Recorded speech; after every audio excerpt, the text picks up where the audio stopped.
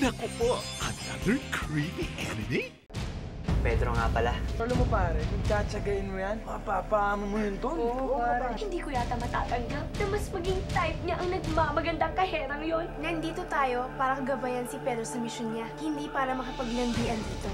Ba out of focus kaya ang ating bida? May mahalaga kang misyon, Pedro. Makakasira ba sa mission ko kung dadalaw ako kila Aurora mamayang gabi? The Adventures of Pedro Benduco, 10 a.m.